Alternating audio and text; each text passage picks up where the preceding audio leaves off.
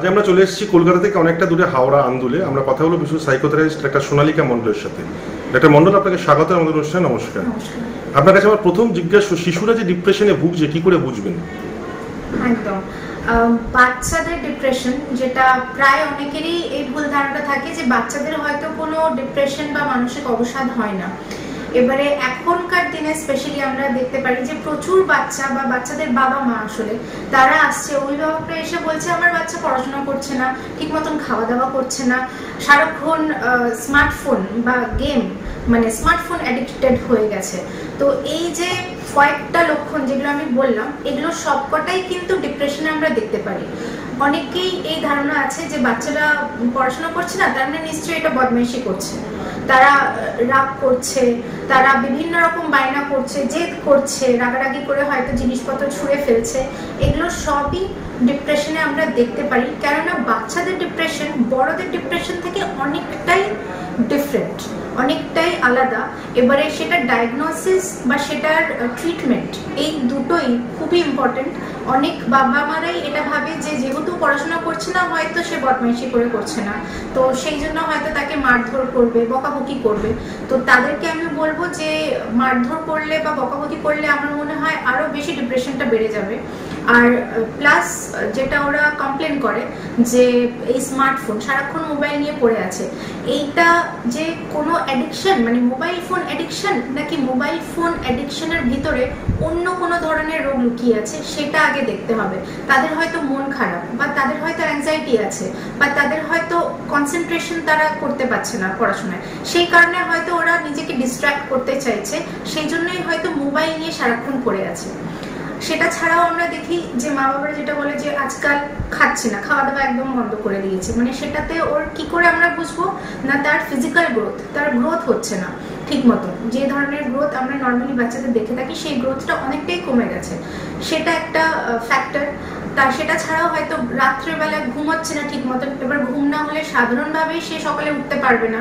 তো সেটা অনেকেই বলে যে ঘুম থেকে উঠতে তার অনেক দেরি হচ্ছে। তো হয়তো তার দেরি হচ্ছে না, তার ঘুমটাই হয়তো লেট আসছে। সেই কারণে ও ঘুম থেকে উঠতে দেরি করছে। মানে রাত্রিবেলায় যে ঘুমটা দরকার, সেটা ঠিক সময় আসছে না। তো এই কয়েকটা জিনিস মোটামুটি আমরা দেখি। সেগুলো দেখে আমরা অ্যাসেসমেন্ট করি। বাচ্চাদের সাথে আলাদাভাবে কথা বলে মা বাবাদের সাথে আলাদাভাবে কথা বলি। এই কয়েকটা পদ্ধতি আমরা নিই ফর ডায়াগনোসিং যে চাইল্ডহুড ডিপ্রেশন আছে কিনা। দিদি, খুব জানতে ইচ্ছে করছে মেডিসিন খেলে কোনো সাইড এফেক্ট আছে কি? বা পরে কি? মেডিসিন খেতে অনেকেই ভয় পায় বা ভাবে যে এই মেডিসিন নার্ভের মেডিসিন বা ব্রেনের মেডিসিন খেলে আমরা ডিপেন্ডেন্ট হয়ে পড়ব, আমরা অ্যাডিক্ট হয়ে পড়ব। তো এরকম এটা একেবারেই খুব বড় ভুল ধারণা যে এই ধরনের মেডিসিন খেলে তারা অ্যাডিক্টেড হয়ে পড়বে বা ডিপেন্ডেন্ট হয়ে পড়বে। আমরা মেডিসিন তাদেরকেই দিই যাদের একেবারেই প্রয়োজন, যাদের বায়োলজিক্যাল ফাংশনস মানে ঘুম, খিদে, পড়াশোনা মানে বাচ্চাদের ক্ষেত্রে বা বড়দের ক্ষেত্রে যেটা আমরা দেখে থাকি, তাদের অন্য অন্য জিনিস মানে নর্মাল যে জিনিসগুলো আমরা কাজের ক্ষেত্রে করে থাকি অফিস যাওয়া বা হিসেব করা মানে টাকা পয়সার হিসেব, যেগুলো নর্মালি আমাদের ডে টু ডে লাইফে যেটা কাজে লাগে, সেই জিনিসগুলো যদি এফেক্ট হয়, তখন আমরা মনে করি যে তখন মেডিসিন দেওয়া খুবই দরকার। আর এই মেডিসিন কার কতদিন চলবে সেটা ডিপেন্ড করছে কোন পেশেন্ট বা কোন বাচ্চা কীভাবে রেসপন্ড করছে সেই মেডিকেশন মোস্টলি আমরা দেখি মোটামুটি থ্রি টু ফোর উইকস তিন থেকে চার সপ্তাহের মধ্যে আমরা একটা পজিটিভ রেসপন্স পাই। সেটার উপরে ডিপেন্ড করে কতদিন তার মেডিকেশন চলবে, সেটা খুব দরকার, সেটা খুব প্রয়োজন। আর মেডিসিন চলতে চলতে অনেকেই দেখি যে তারা ভালো আছে, এটা ভেবে মেডিসিন খাওয়া বন্ধ করে দেয়। তো সেটা যেন না করে মেডিসিন কতদিন চলবে বা কীভাবে চলবে, সেটা একমাত্র ডক্টর ছাড়া আর কারোরই বলার অধিকার নেই বা কারোরই বলা উচিত নয়। নিজে মনে হলো মেডিসিন খেলাম না খেলাম বা বন্ধ করে দিলাম, এরকম যেন কেউ না করে। মেডিসিন যদি খেয়ে কোনো সাইড এফেক্ট হচ্ছে, তাহলে অতি অবশ্যই ডক্টরকে জানাবেন। আর আজকাল আমরা যে মেডিসিন ইউজ করি মডার্ন মেডিসিনে অনেক ভালো ভালো মেডিসিনস বেরিয়েছে, যেটার মধ্যে লো সাইড এফেক্ট বা অলমোস্ট নো সাইড এফেক্ট কোনো সাইড এফেক্টই থাকে না। আর সেই মেডিসিন খেয়ে সবাই নিজের ডেলি অ্যাক্টিভিটি ডেলি রুটিন খুব ভালোভাবে ফলো করতে পারছে। দিদি যেটা খুব জানতে ইচ্ছে করছে কতদিন মেডিসিন খেতে হয় একটা বাচ্চাদের? বাচ্চার ক্ষেত্রে যদি বলি মেডিসিন কতদিন লাগবে? সেটা হচ্ছে যতক্ষণ না বাচ্চা পজিটিভ রেসপন্স করছে আর সেই মেডিসিন খেয়ে তার সে কতটা ভালো আছে। ইমপ্রুভমেন্ট আমরা দেখি যে more than fifty percent symptoms যদি ইমপ্রুভ হয়, তাহলে আমরা ওটা মোটামুটি six to nine months continue করতে বলি। তারপরে আরেকবার অ্যাসেসমেন্ট করি যে সে মেডিসিনস খেয়ে কেমন আছে। আর তখন যদি মনে হয় সে মেডিসিনস খেয়ে ভালো আছে বা নর্মাল আছে, তখন আমরা আস্তে আস্তে সেই মেডিসিনের ডোজগুলো কমাতে শুরু করি। আর যখন কমাতে শুরু করব, সেইটা খুবই একটা ট্রানজেকশন ফেজ মানে সেই ফেজটা যখন কমাচ্ছি, খুব ভালোভাবে পেরেন্টসদের অভিভাবকদের সুপারভাইজ করা দরকার যে সে মেডিসিন কমানোর পরে কেমন আছে। এই জিনিসটা আমার জানতে একটুখানি সময় লাগে। কেননা মেডিসিন কমানোর পর অনেক সময় দেখা যায় যে আবার তার ডিপ্রেশনের সিমটমসগুলো ডিপ্রেশনের লক্ষণগুলো ফিরে আসছে। সেটা যদি হয়, তাহলে আবার আমাকে অরিজিনাল ডোজ অফ মেডিকেশনটা ফিরে যেতে হয়। তখন আরেকটু লং টার্ম আমাকে মেডিকেশনগুলো দিতে হবে।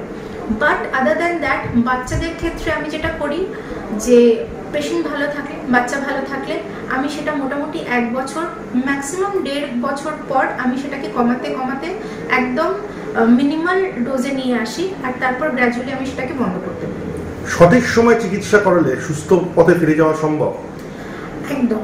সঠিক পথে যদি আপনি ঠিকঠাক সময়ে ঠিকঠাক ডক্টরের কাছে সাইকিয়াট্রিস্টের কাছে যান তাহলে তারা অতি অবশ্যই আপনাকে গাইড করে দেবে যে কীভাবে কোথায় আপনি দেখালে বা কীভাবে কাকে দেখালে মেডিসিন নিলে আপনি ভালো থাকবেন।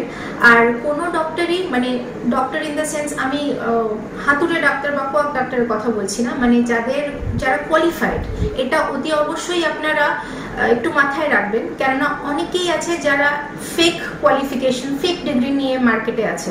তো এরকম জায়গায় যদি যান, তাহলে ওরা কিন্তু ঠিক মতন গাইড করতে পারবেন না। সুতরাং আপনাকে কোয়ালিফিকেশন দেখে তার সেটা ভেরিফাই করে যে সঠিক তার কাছে ডিগ্রি আছে কিনা। একমাত্র সাইকিয়াট্রিস্ট হ্যাঁ তাদের কাছে গিয়ে আপনারা ভালো গাইডেন্স পাবেন। তাদের কথায় যদি আপনি ফলো করেন তাদের ট্রিটমেন্ট যেরকম প্রোটোকল আছে সেটা যদি আপনারা ফলো করেন তাহলে অতি অবশ্যই আপনারা ভালো থাকবেন। যদি একটা প্রশ্ন খুব জানতে ইচ্ছে করছে। অনেকেই বলেন আমি কি পাগল? পাগলের ডাক্তারের কাছে যাব? অনেকে এটা শুনতে হয়। এই ব্যাপারে কি বলবেন আপনি? তো এই স্টিগমাটা অনেক দিন ধরে আছে, এটা আজকের নয়।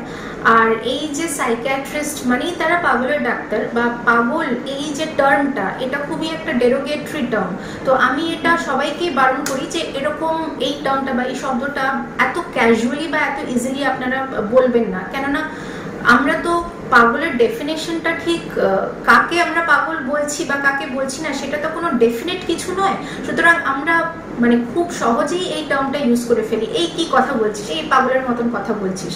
হ্যাঁ এটা বলে ফেলি। এবারে মানসিক স্বাস্থ্য বা মানসিক মনোরোগ বিশেষজ্ঞ আমরা যারা সাইকিয়াট্রিস্ট আমরা মানসিক রোগ ঠিক করি ট্রিটমেন্ট করি। তো মানসিক মনের স্বাস্থ্য মনের অসুখ অসুখ একদম। তো এই মানসিক রোগ এর মধ্যে কি পাগলামিটা কি কোনো ডায়াগনোসিস বা কোনো ক্লিনিক্যাল টার্ম এরকম তো নয়। মানসিক রোগের মধ্যে বিভিন্ন রকম রোগ আছে।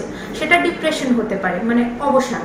সেটা অ্যাংজাইটি হতে পারে মানে টেনশন করা, অহ- অহেতা টেনশন করা, যেটাকে আমরা জেনারেলাইজ অ্যাংজাইটি বলি ওসিডি হতে পারে obsessive compulsive disorder somatoform disorder হতে পারে, বা অনেকেরই দেখবেন ইটিং ডিসঅর্ডার আছে মানে তারা ঠিক মতন খায় না খাওয়া দাওয়া করে না বা খেতে পারে না ইটিং ডিসঅর্ডার ফোবিয়া বিভিন্ন ধরনের ফোবিয়া কারোর হয়তো হাইটের ফোবিয়া কারোর হয়তো ওই ইনসেক্ট ইনসেক্টের ফোবিয়া সেটা যে কোনো ইনসেক্ট হতে পারে, বা কারোর হয়তো দিনের পর দিন তাদের ঘুম হচ্ছে না।